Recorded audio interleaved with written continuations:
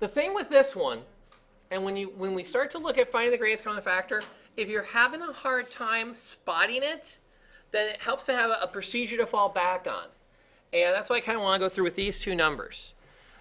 What we're going to do is we're going to do the prime factorization of each of them. So let's take 12 and look at the prime factorization. 12 would be what two numbers? What? 2 times 6, all right. If it's an even number, you can always start off with 2. And 6 we know is 2 times 3. So the prime factorization of 12 is 2 squared times 3.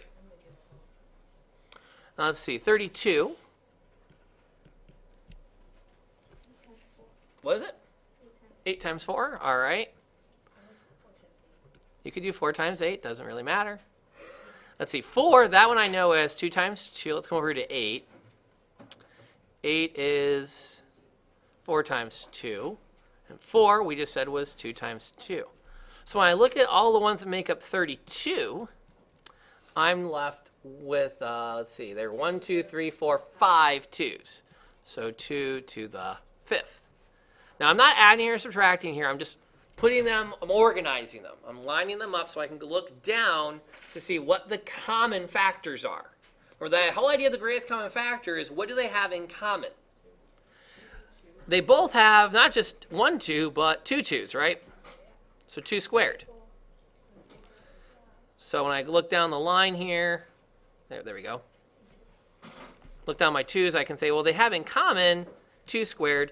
Uh, if I look down the 3's, there's only the 3 and the 12. There's no 3 and 32. So it looks like my greatest common factor is 4. Wait, what? I don't understand how you go. Okay. Did you divide them? I didn't do any operation. All I did was just look to see what they have in common, and they're organized by term, by factor, to see what they have in common. Now, another way to look at this, Wait, why are you using two squared? because when I look for the, and let me write it one more time before I answer that and see if this helps. 12 is 2 times 2 times 3, right? 32 is 1, 2, 3, 4, 5 twos, right? So now I look to see what's the common factor between them. What numbers do they both have in common? And when I do that, the common factors between them, get my color here. Let's see, there's this 2 here. So these guys are common. These 2's are common. So that means my common factor must be 2 squared, which is 4. The reason that we have to work with the exponents, we don't have to. The reason it's good habit to be in is as we move through today, we're going to change this up and take away having it all be numbers. We're going to throw some variables in there. So we have to be comfortable saying the smallest exponent decides what they have in common. So two to the four is the GCF? 4 is a GCF. Not 2 to the 4, just 4.